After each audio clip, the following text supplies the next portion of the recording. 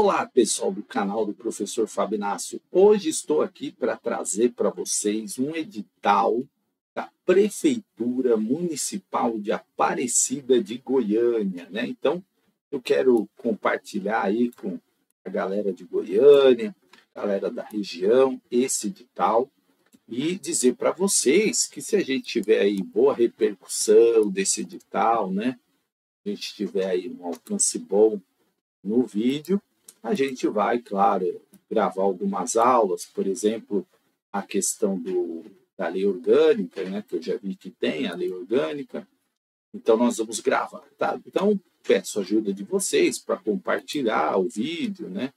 Importante aí para o canal é que seja divulgado. Bom, vamos lá. Prefeitura Municipal de Aparecida de Goiânia, concurso público, edital número 3 de 2000 2024, né, a banca, o Instituto de Acesso à Educação Profissional de Desenvolvimento Humano, o Instituto Access, né, e, que é uma banca que faz alguns concursos nessa região, né, é uma banca tão conhecida, tão popular, mas tem feito aí alguns concursos lá no Centro-Oeste, tá?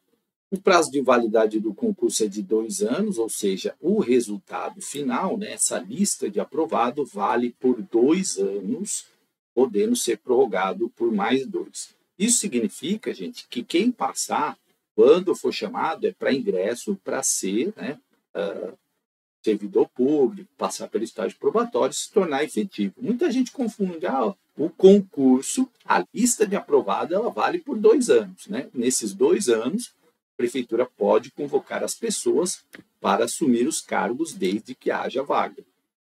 E uh, também, né, ela pode prorrogar, mas isso é a critério dela, tá? A critério da administração. Se ela não quiser prorrogar, ela não precisa prorrogar. O concurso, né, vai aplicar as provas de objetivas de múltipla escolha, de caráter classificatório e eliminatório, provas discursivas também de caráter eliminatório e classificatório para os cargos de nível superior, tá? Então, os cargos que exigem nível médio, não.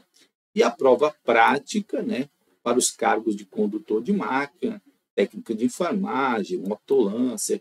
E aqui nós vamos dar ênfase na educação, tá? E a avaliação de títulos também somente para os cargos é, de nível superior. Aí o edital tem as atribuições, os conteúdos, né?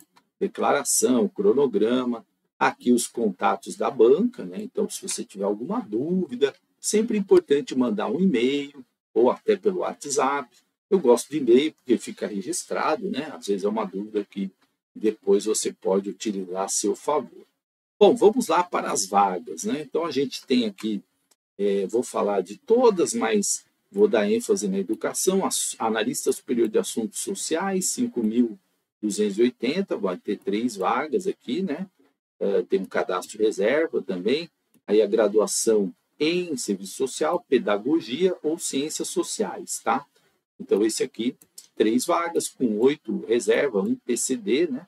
Então, tem aí essas vagas, são 40 horas de trabalho. Comunicador social, aí tem que ser jornalista ou publicidade, né? Também três vagas, a mesma situação, salário de 5,280 cultura, analista superior de cultura, aqui é um rol maior, né? Graduação em arqueologia, arquivologia, artes visuais, biblioteconomia, dança, educação física, história, telaria, musicologia, turismo, né? E, outro, e registros nos respectivos conselho de classe, aqueles que têm.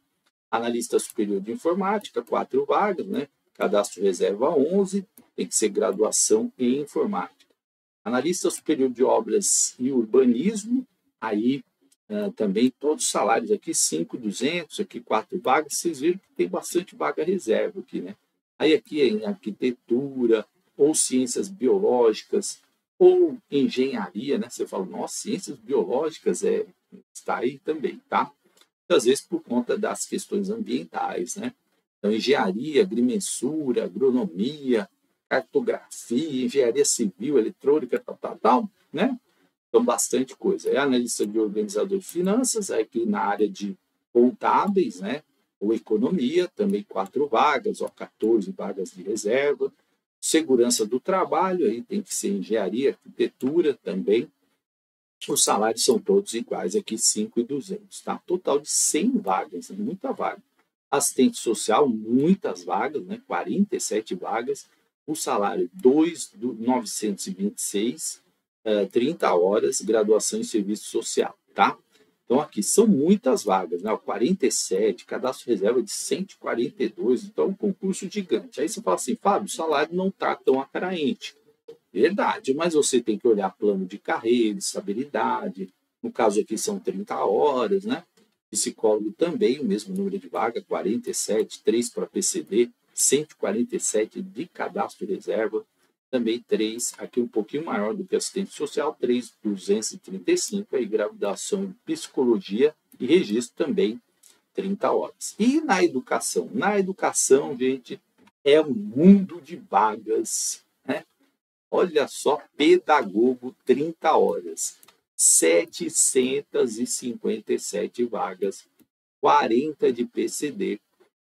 Olha, 2 mil 271 no cadastro reserva, o salário é 3.840, centavos, 84 reais e 24 centavos, 30 horas licenciatura plena em pedagogia. Aí você tem uh, os mesmos salários aqui, né, tanto para professor fase 2 de ciências, educação física, geografia, história. Aqui é o, educação física tem mais vagas, né, 16, Ciências 3, Geografia 4, História 4, Cadastro Reserva aqui também é de Educação Física maior, mas aí você tem que ter as respectivas licenciaturas, né? Lembrando que Educação Física, normalmente, eles exigem o conselho do CREF, tá? É, língua portuguesa e inglês, nove vagas, um pouquinho mais, salário é o mesmo, todos 30 horas aqui, licenciatura plena, né? Professor fase 2 matemática, 6 vagas, então cadastro reserva 19, 3.884, também licenciatura plena. Agente de apoio educacional, esse, né? 348 vagas. Olha como tem vaga esse concurso. 19 para PCD. Olha o cadastro reserva, 1.046, salário 259 por 30 horas, esse ensino médio completo. E o agente administrativo educacional, 108 vagas, com 6 para PCD, salário de 2,159. Esse ensino fundamental completo. Então, é uma baita oportunidade. Gente, por que, eu falo isso? Porque muitas vezes você entrar no poder público, você tem um plano de carreira, você tem, né, depois de três anos, estágio probatório, estabilidade, enfim. Então, a gente fala assim, ah, mas achei o salário pouco e tal, né? Mas eu quero falar para vocês. Tem muita gente que tem ensino médio completo, tem ensino fundamental completo, eh, e às vezes vai no mercado para trabalhar numa loja, ganhar aí mil e poucos reais, né? e você ter uma carreira no administrativo, no serviço público, é bem melhor. Bem melhor, porque essas, às vezes esses trabalhos assim, é, é, a loja fecha, né? enfim, tem as oscilações de mercado, e aí você fica desempregado. Então, né? não vou falar aqui da Secretaria da Fazenda, né? Tem auditor fiscal, que o salário é maior, né? Então, mas aí tem que ser graduação em qualquer nível superior. Então, auditor fiscal, é, 14 vagas, o salário está 9,517. O salário de auditor fiscal tributário, 10,500, um pouco mais, né? E aí tem que ter ciências contábeis ou direito ou administração, também interessante aí também. Né? E aqui, a é, Secretaria de Saúde também com muitas vagas aqui, né? auditor, médico, etc., condutor de máquina, enfim, um edital bem grande. E o que, que você precisa para ser investido no cargo? Né? Aí, claro, você tem que ser classificado no concurso, ter nacionalidade brasileira, ou, no caso de cidadão português, ou estrangeiro, de, de, dependendo da legislação federal, né? Portugal tem um acordo com o Brasil, então, se for descendente português, tranquilo. Possuir requisito de escolaridade, estar em pleno gozo dos direitos políticos, obrigações é, militares, no caso do sexo masculino, com as obrigações eleitorais, né? Então, poder votar e ser votado, habilitação legal, no caso dos diplomas, condição de sanidade física e mental, né? vai ter o exame médico, não estar incompatibilizado para o serviço público em razão de penalidade sofrida. Então, às vezes, a pessoa é demitida bem do serviço público. Então, existe aí, né, ela está condenada em alguma questão, aí ela não pode, né, obviamente, entrar. E ser aprovada em todas as etapas. As inscrições você vai fazer e, através da internet, do, do site da banca, access.org.br, e preste atenção, a partir das 14 horas do dia 12 de agosto, né? Então, eu estou publicando o vídeo antes, mas as inscrições começam a partir das 14 horas do dia 12, tá? Não é a partir das 8 horas, né? É, o vídeo está indo um pouco antes para o ar, então é, dá tempo né, de você ir olhando. E claro, ah, eu fui lá, não tem a inscrição. Não tem, porque é a partir do dia 12, certo? Então você vai entrar lá, né? Colocar o seu CPF, fazer sua inscrição sempre pelo site. Vai efetuar o pagamento da taxa de inscrição, que será recolhida à conta do Tesouro Municipal de Aparecida de Goiânia. Então, na hora que você gerar o boleto, é importante olhar, né? Porque existem muitas pessoas dando golpes por aí. Então, é importante você estar atento. Valores de inscrição. É, nível fundamental, né, R$ 64,00, nível superior, R$ 76,00, é, oh, desculpa, nível médio, R$ 76,00 e nível superior, R$ 98,00. Às vezes a mente vai na frente, né, vai lendo. Né? Então, é, nível superior está um valor né, bem, bem alto, mas é, não está muito barato, mas é uma oportunidade excelente porque você tem muitos, muitas, muitas vagas, né? Então, olha só, inscrições online, você foi lá, efetivou, confirma, dá uma olhada lá, tá? Os boletos bancários eles serão emitidos a partir do dia 12, né, das 14 horas, quando começa a inscrição, e aí você pode imprimir ele até o dia 13, caso né, a inscrição encerra dia 12, às 23 horas e 59 minutos, mas você pode né? Se você está inscrito, você pode emitir o boleto até o dia 13 e, obviamente, pagar. Mas não deixe para o último dia. Né?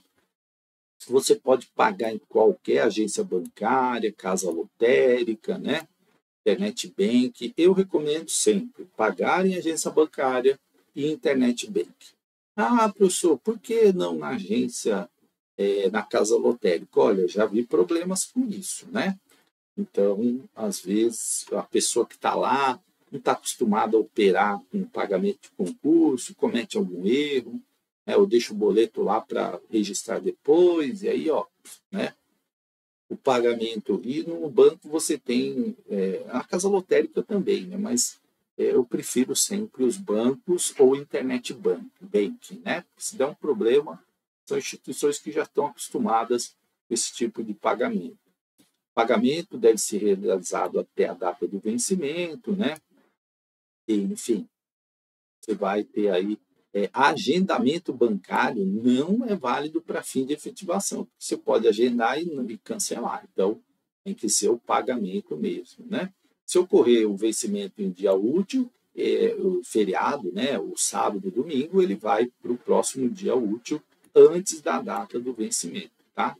A inscrição somente será concretizada e validada após o pagamento da inscrição da instituição bancária. E caso você tenha dúvida, você vai consultar a banca, você vai entrar lá no site, ver se sua inscrição foi efetuada. Não é assim, se fiz a inscrição hoje, já vai aparecer lá. Não, né? Tem que dar um tempo para fazer a, a, transação, né? O banco dá ciência que o valor foi pago, enfim. Se você tiver alguma dúvida, você pode entrar em contato com a banca Access. Né? Bom, dia 18 será publicado o resultado preliminar das, das homologação, da homologação das inscrições. Então, dia 18 você vai lá, vai verificar. Né? No período 19 a 20 será concedido prazo para recurso, caso sua inscrição não, não apareça lá, né? E aí esses recursos serão divulgados no dia 27 de setembro. Então, faça tudo corretamente, com calma. Se tiver alguma inexatidão de informação, a banca não se responsabiliza, então preencha com calma, né, RG, tudo certinho.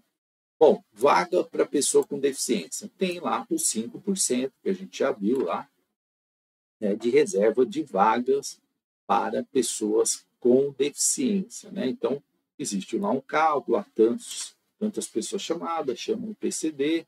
Né? Aqui as instruções para PCD, que segue todas as legislações que existem federais sobre isso. Né? Então, tem, por exemplo, a visão mono, monopar, que foi reconhecida pelo STF, tá? deficiência física, auditiva, aí tem aqui o que é a deficiência física, né? Então, por exemplo, nanismo é uma deficiência física? Sim, né? É, e aí, claro, né, a tetraplegia, tetraparesia, triplegia, triparesia, hemiplegia. Então, tem todo uma, uma legislação. Ah, eu tenho um problema no joelho. Não, não é assim, tá?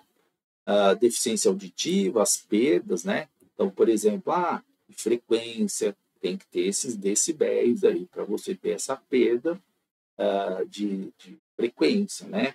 Então, outro dia eu fiz até um exame lá e eu estava com a minha, minha, a minha audição perfeita, né? Só tinha uma frequência lá que eu tinha um negocinho lá, mas é por conta da idade, né? A moça falou que é normal, porque à medida que a gente vai envelhecendo, né, a gente tem uma, uma coisinha lá, mas eu escuto super bem, né? Então, deficiência visual também, tá? Então, cegueira, né? É, baixa visão, enfim, todos. E aí, claro, tem que mandar o laudo. O laudo sempre 12 meses antes do término do período das inscrições, tem que ser um laudo atualizado. Né? Então, muita atenção nas orientações com relação à pessoa com deficiência, tá?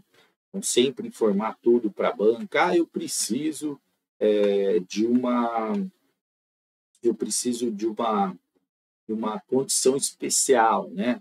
Uma prova em braille, uma prova ampliada, sempre informar a banca, tá?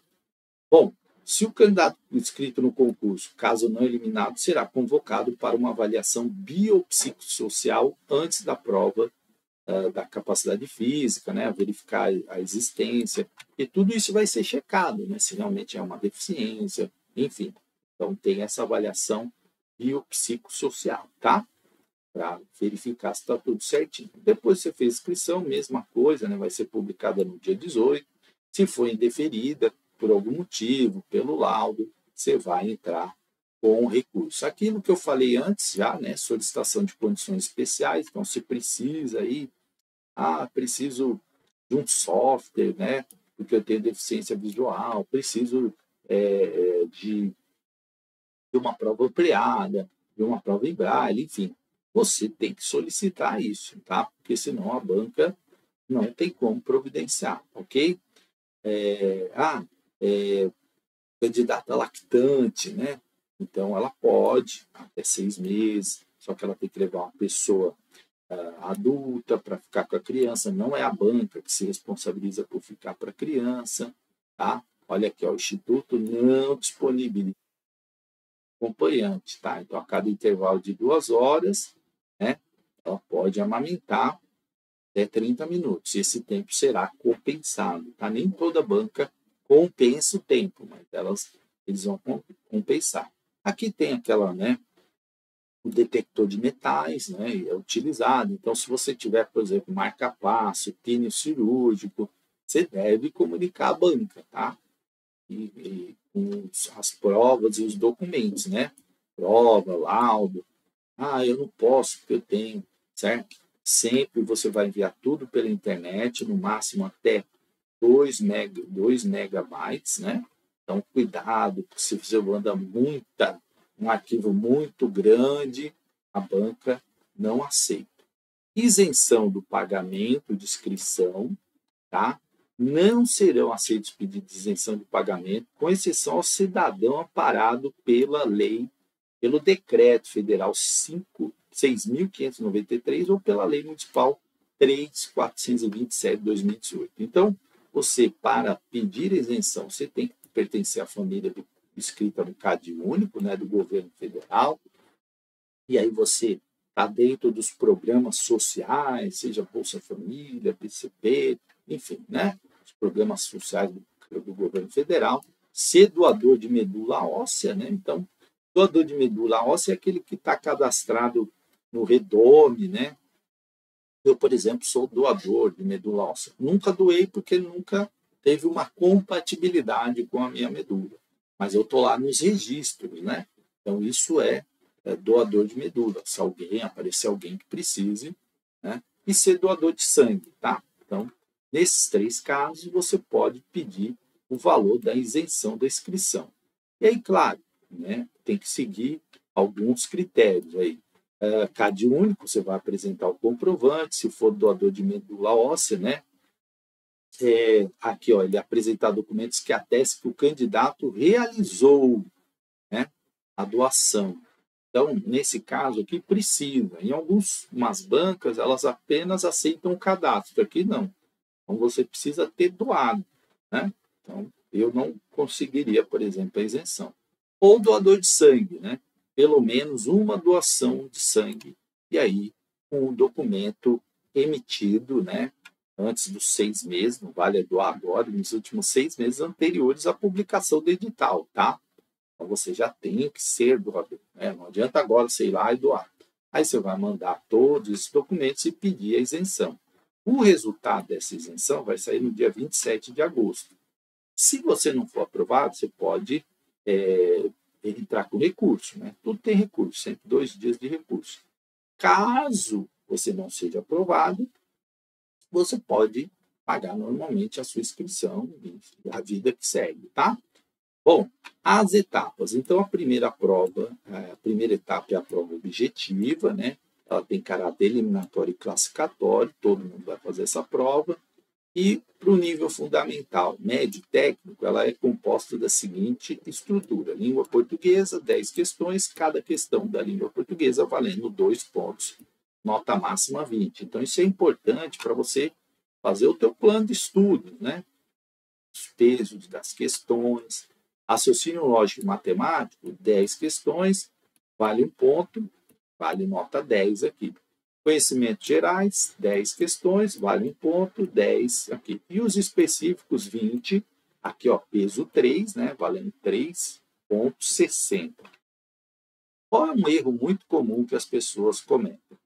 Ah, conhecimentos específicos, específicos vale mais, então vou estudar muito conhecimento específico e esquece as outras. Não dá para ser assim. Você pode até fazer um cronograma, é, colocando mais ênfase no conhecimento específico, mas sem abandonar língua portuguesa, né? raciocínio lógico, conhecimentos gerais. Por quê? Porque isso vai fazer diferença, tá? Vai fazer diferença, né? É, e lembre, você está competindo às vezes com pessoas que são da área, então o diferencial seu pode ser de repente a matemática, né? Pode ser na língua portuguesa, então é importante você pensar nessas estratégias, e eu vou falar um pouco disso no canal, na hora de você começar a estudar, tá? E os níveis, e o nível superior, língua portuguesa, ó, 10 questões, valendo 2, né? nota máxima 20, ah, o total é 100 pontos, né? Raciocínio lógico, 10, aqui vale 2, não vai confundir, hein? Fundamental, médio e técnico, vale 1. Aqui vale 2, matemática e raciocínio lógico. Conhecimentos gerais, vale 2, e os específicos aqui, ó, vale 4 pontos, né? Então, aqui a divisão é um pouco diferente para o superior, e, uh, e aí você tem que estar atento nisso. E olha outro detalhe importante: para ser aprovado, o candidato deve acertar pelo menos 50% da prova. Então, ele precisa ter 50 pontos. Só que ele não pode zerar em qualquer das disciplinas aplicadas, senão ele está fora. Então, o que, que acontece? A pessoa fala, ah, matemática, eu vou chutar tudo. É muito comum a gente ouvir isso, né? E aí, no chutar tudo, você pode errar tudo, e aí você está eliminado do concurso. Ah, tirei 60 pontos, acertei tudo de específica, zerei matemática, estou fora. Tá? Então, muito cuidado com isso. Né? Os conteúdos vão estar tá aqui no anexo 2. É, a, a prefeitura, né, e o Instituto não se responsabiliza por qualquer curso, texto, apostila, né? O povo gosta muito de apostila. Eu sou contra apostila, já falo para vocês. Não acho é, as apostilas comerciais, né? É muito raro eu ver uma apostila bem feita. Normalmente elas são comerciais demais, então elas são feitas muito rápidas e, e são muito rasas às vezes, né? Nada contra as apostilas, mas é raro eu ver uma que eu falo, essa apostila é boa, tá? Mas tem umas né, que é bugado, mas eu não gosto muito, tá? Prova discursiva, né, também de caráter eliminatório, será aplicada aos candidatos de nível superior. Então, serão corrigidas, aí só vai ser corrigida dos candidatos aprovados, tá? Na fase, é, na prova objetiva. Então, até três vezes o número de vagas oferecidas no item 2 e cadastro reserva. Então, vai corrigir daqueles que atingiram a pontuação até aquelas vagas, tá? Respeitados empates, né? Quem ficou muito além daquelas vagas não é corrigido. Prova discursiva é descartada. E ela é no mesmo dia, tá? No mesmo dia e no mesmo turno. Então, ela é feita, a correção dela depende do seu desempenho na objetiva. Então, se você tiver uma nota boa, tá? você provavelmente vai estar dentro do número de vagas, provavelmente vai corrigir sua prova, ok? E aí você vai fazer essa prova dissertativa, né? Se tiver qualquer marca lá para te identificar, aí sua prova é anulada, é zero. Tá? Você não pode escrever o nome, porque a correção da dissertativa ela vai apenas com código, para que quem corrige não saiba é, de quem é aquela prova, né? Porque senão isso poderia dar algum problema de lisura no concurso. Sempre caneta esferográfica tinta azul ou preta, fabricada em material transparente. Aí vai o cara lá com aquela caneta assim, ó, né? Pode, Fábio? Não, né? Tá no edital. Aí o cara fala assim, ah, mas não sabia. Aonde que está escrito isso? E começa a brigar lá e querer arrumar confusão. E está no edital, gente. É, então, ó, atenção. Ao terminar a prova, você vai entregar né, a folha e tal.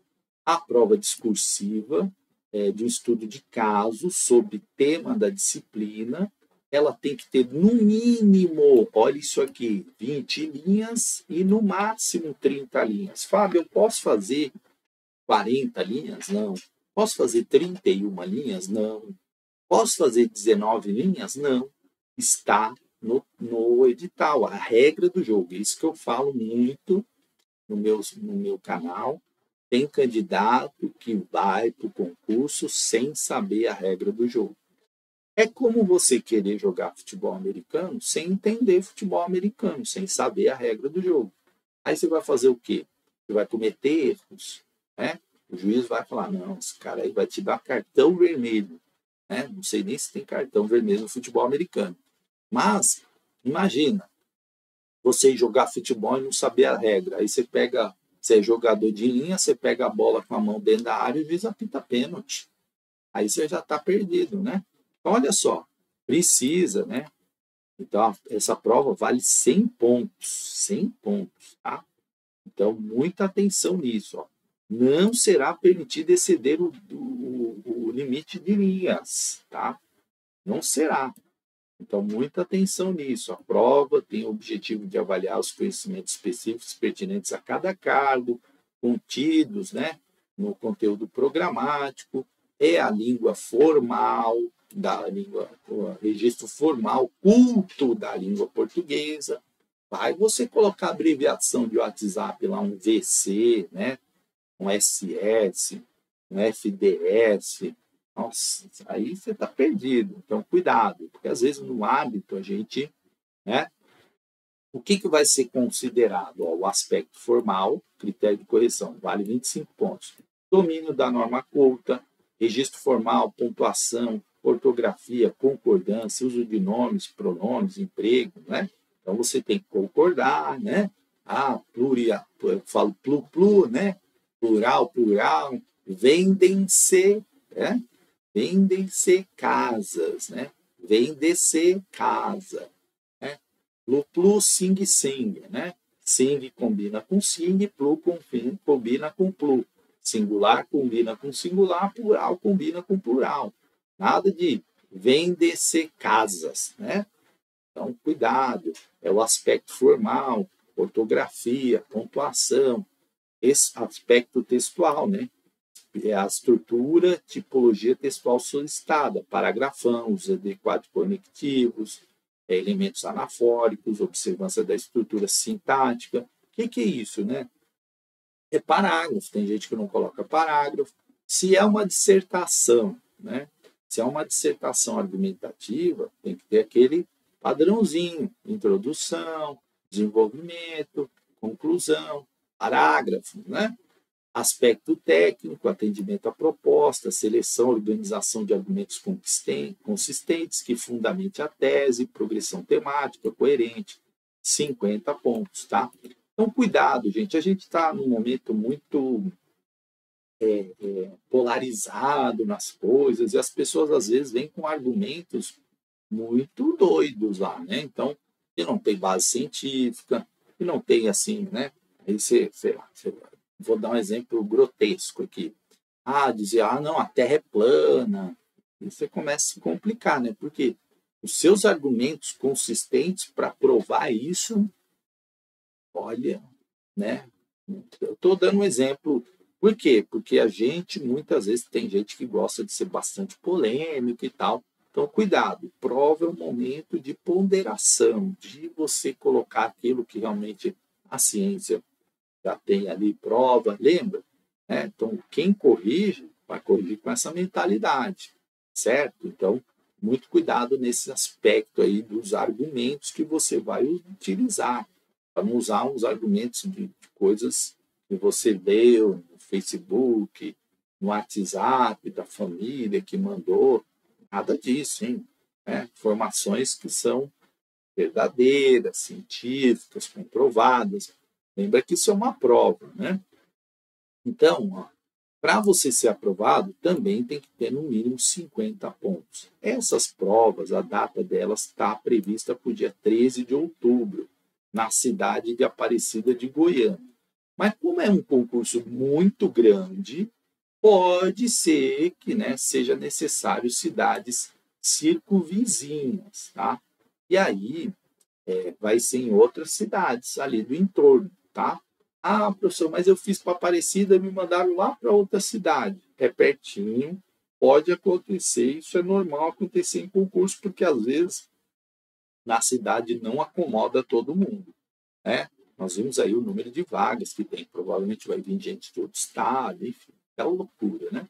Olha só, agente de apoio educacional, assistente social, auditor, auditor, enfermeiro, auditor, né, condutor de marca, professor de educação física, fase 2 ciências, geografia, história, língua portuguesa, inglês e matemática, psicólogo, condutor, manhã, de 8 horas até meio-dia. E à tarde, agente administrativo educacional, analista superior, analista superior de comunicação social, assuntos sociais, cultura, desporto, informática, obras, organização, é, segurança, fiscal e pedagogo à tarde.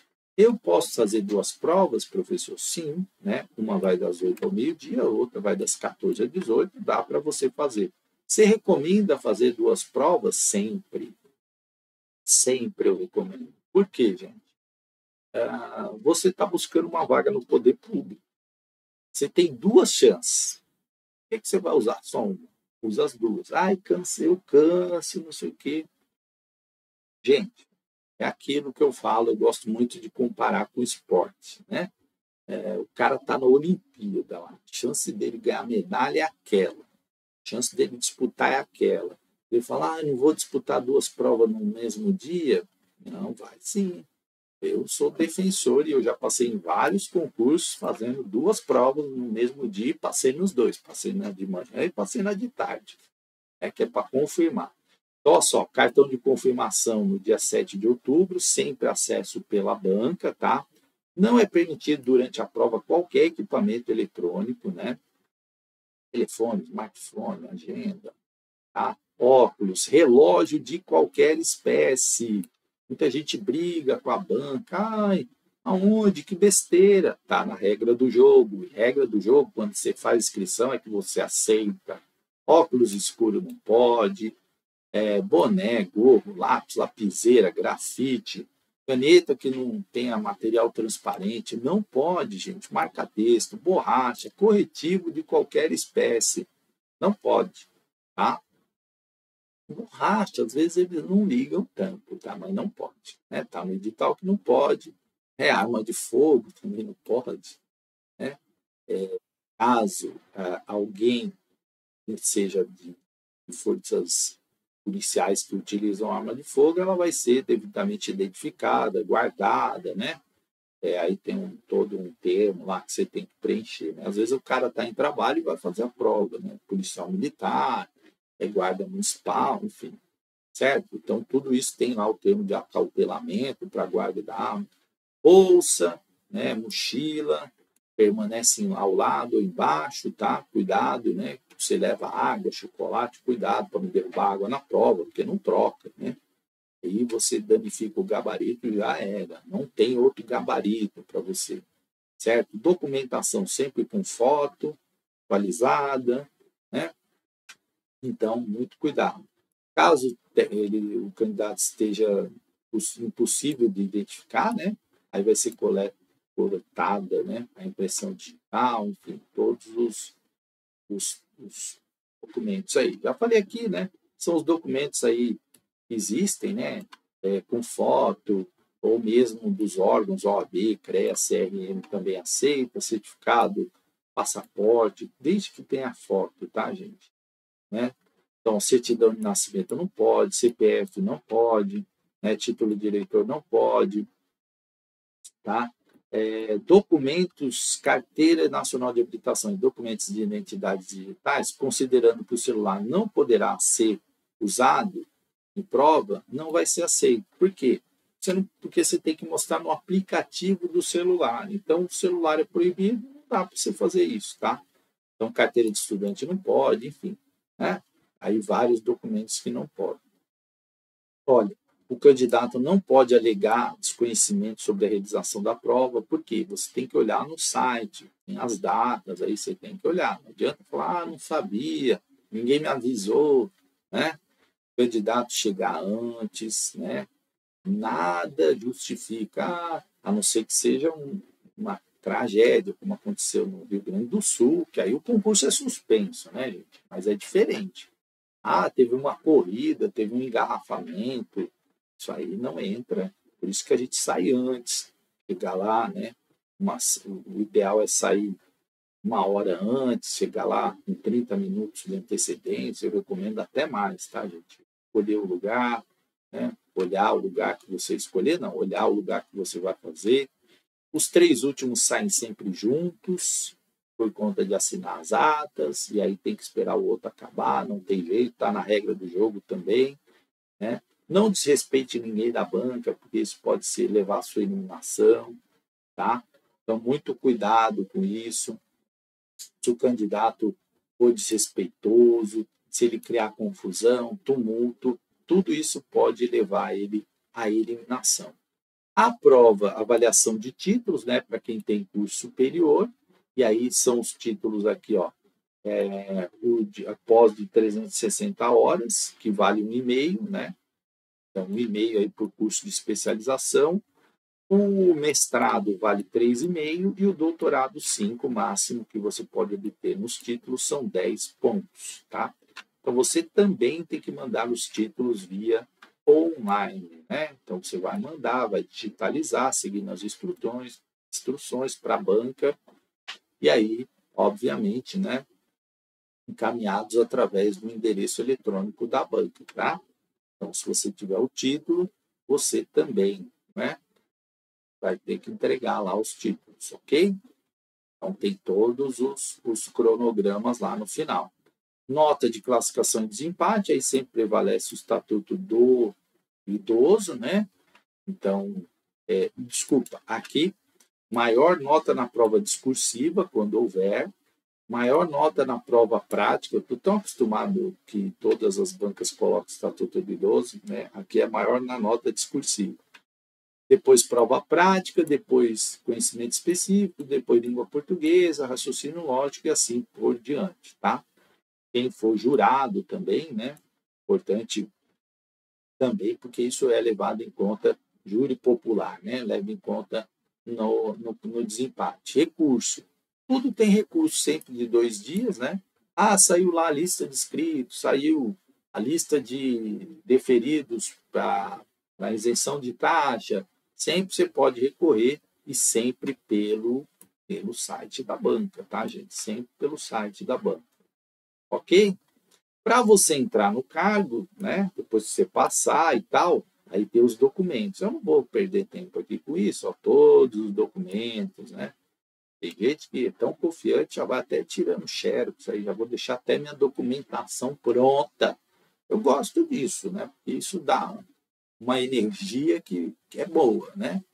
Então, é, tem vários documentos, às vezes é atestado de antecedentes criminais, cópia de comprovante de residência, inscrição de PIS-PASEP, certidão de nascimento dos filhos.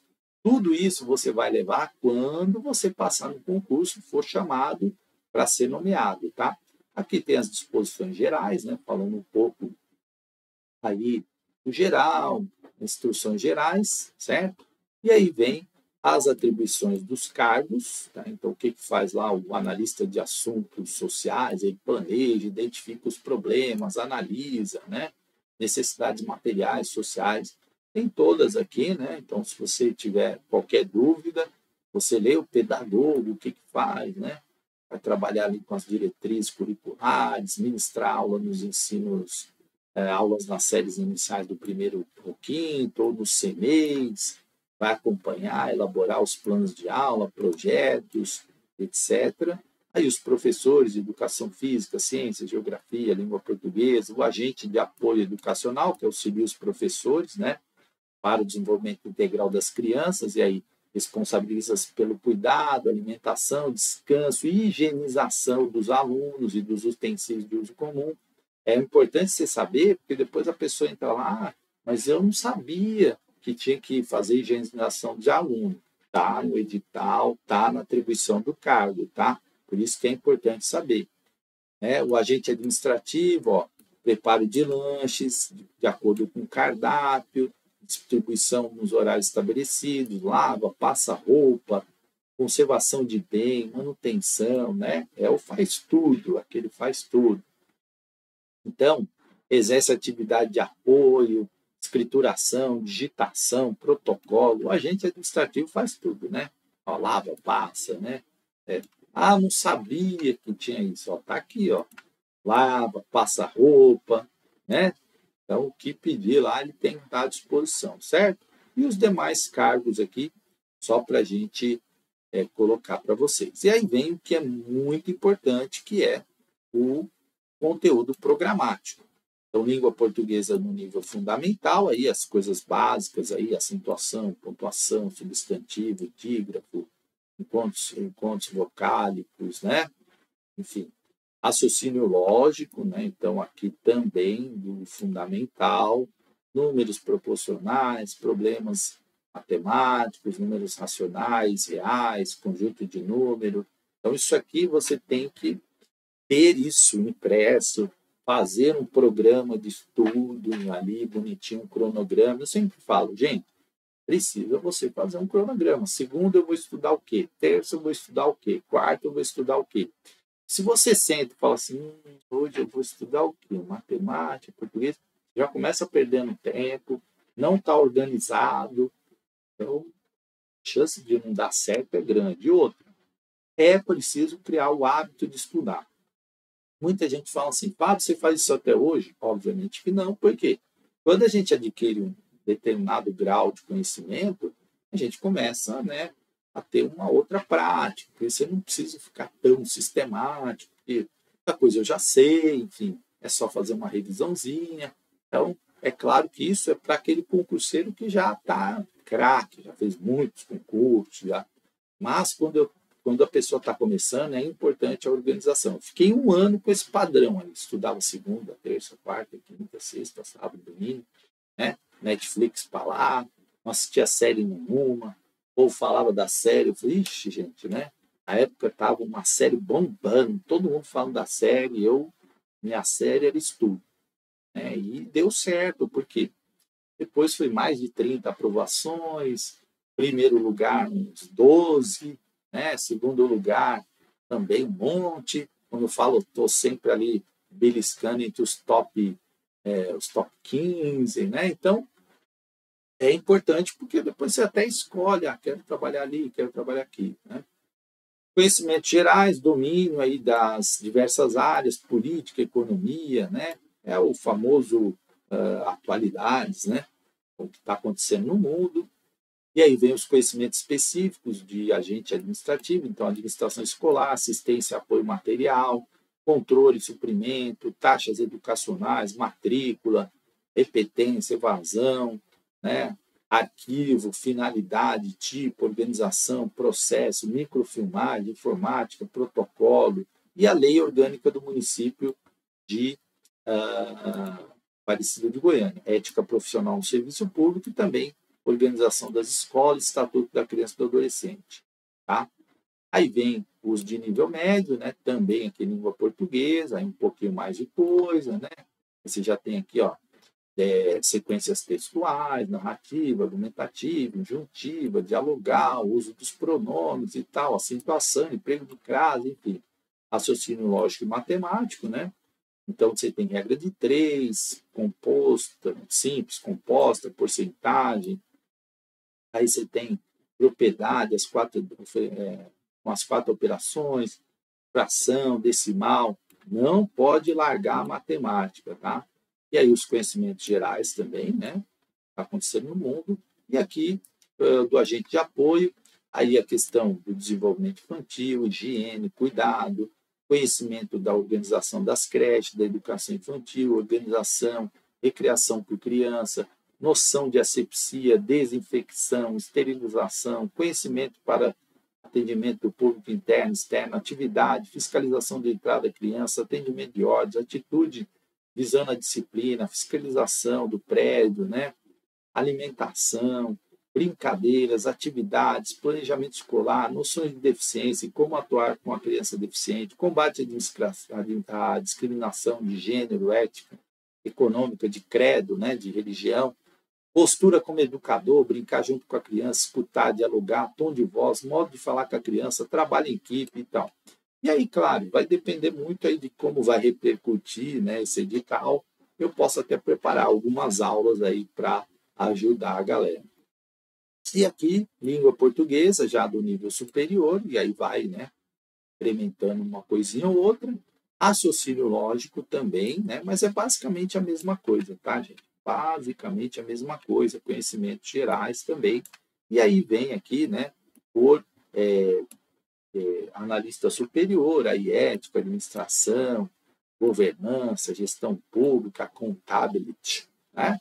Enfim, bastante coisa aí. Eu quero mostrar um pouco pedagogo para vocês, o vídeo não ficar muito longo, né? Tem várias coisas aqui. E eu queria mostrar um pouquinho do pedagogo, né? E segurança do trabalho, e assistente social, psicólogo, pedagogo. Então, olha só, planejamento do trabalho pedagógico, planejamento participativo escolar, currículo, o proposto, a prática, tecnologias da informação na educação, as TICs, educação à distância, educação para a diversidade, cidadania e direitos humanos, educação integral, educação do campo, educação ambiental, né, tendências pedagógicas na prática escolar, muitas coisas dessa tem no meu canal. Didática e prática histórico-cultural, aspectos pedagógicos da prática educativa, processo ensino-aprendizagem, relação professor-aluno, componentes do processo de ensino, interdisciplinaridade e transdisciplinaridade do conhecimento, avaliação escolar e suas implicações pedagógicas, o papel político e organização do ensinar, aprender e pesquisar, projeto político-pedagógico da escola, PPP, né? políticas públicas para a educação, fundamentos da filosofia e sociologia da educação, psicologia da educação, didática, educação inclusiva, é, legislação de ensino, educação em currículo, educação em trabalho, tendências pedagógicas e o processo de ensino-aprendizagem, construção do conhecimento, papel do educador, didático, processo de ensino-aprendizagem, gestão da aprendizagem, gestão de projetos educacionais, inclusão, exclusão, interdisciplinaridade e contextualização, projeto político-pedagógico, metodologia de implementação, acompanhamento, avaliação, protagonismo juvenil, coordenação e orientação, tendências pedagógicas, multiculturalismo, né? falou muito tendência pedagógica, formação continuada do professor, políticas públicas, aspectos sociológicos da educação, enfim, processo, ação, reflexão, ação, né, no desenvolvimento do trabalho pedagógico, planejamento educacional. Isso aqui é, é tem no meu, no meu ah, no meu canal Isabel Alarcão, tá? Processo, ação, reflexão, ação. E BNCC, né? E aí vem as é, especiali especialidades, né? Então, eu também me interessei em também talvez trabalhar isso aqui vai depender muito aí da, da resposta da galera, né, de Goiânia, da região aí, em relação ao vídeo, né? Então comenta, fala, eu quero, eu preciso, professor, ajude. Aí toca o meu coração e eu faço. Projeto de educação física, né? Aí a área de educação física, muita gente me pede para fazer conteúdo para essas áreas, mas eu não sou dessas áreas, e aí fica um pouco difícil. Muita gente fala assim, professor, eu tenho uma boa didática, mas aí eu teria que ler, né? Não sou professor de educação física, tá? Bom, ciências também, o pessoal pede, ah, faz vídeo de ciências, né? Faz vídeo de geografia, que já é um pouco mais próximo da minha área, né? História também, né? Porque eu já lecionei essas duas disciplinas, e aí eu consigo falar alguma coisa. Nem o português e inglês não, né? Embora é, também matemática muito menos, né? Mas eu sou, eu falo que eu sou esforçadinho em matemática, porque eu, eu tinha muito problema com matemática nos concursos. Aí comecei a dedicar, inclusive um que eu fui em primeiro lugar, o diferencial foi que eu gabaritei matemática. E aí a galera não conseguiu gabaritar. Então, eu já saí ali três, quatro pontos, porque a galera de pedagogia não foi tão bem em matemática. Né? Os pedagogos, normalmente, ali eles dão uma escorregada. E aí, isso em geral no Brasil, é uma questão, dados provam isso. Né? A gente é, não tem um olhar tanto para matemática, inclusive os piores desempenhos nas escolas geralmente são na matemática. Então acaba que, claro que tem aquelas pessoas que são boas nessa área e conseguem também ter bons resultados. Por isso que eu falo, não dá para você simplesmente falar, vou chutar tudo de matemática, que não é uma boa estratégia, tá? Bom, e aqui os demais cursos, né? E para finalizar, eu vou lá para os cronogramas, que são importantíssimos. Aqui, declaração de isenção de taxa de inscrição, você tem que preencher esse modelo de declaração, né?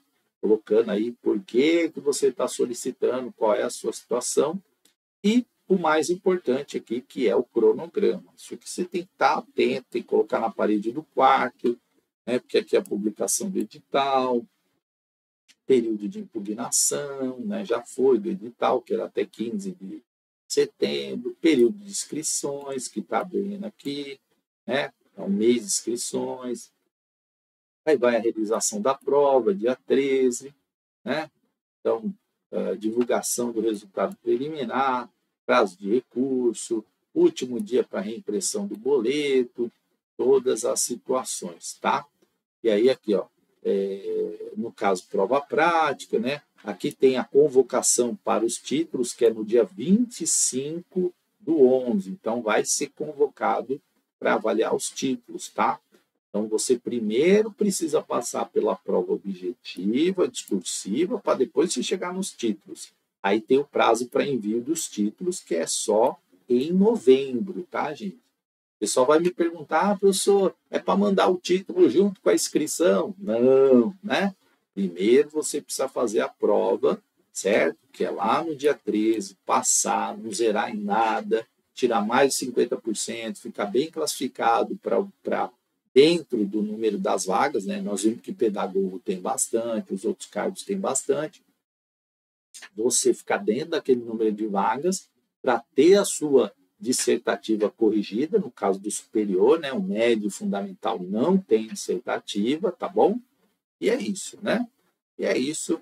E o resultado do concurso, ó, presente de Natal, dia 27 do 12, né? Então você vai para o Natal, felizão, e aí Papai Noel chega um pouquinho mais atrasado, mas chega dia 27 com a sua aprovação. Olha que beleza, né?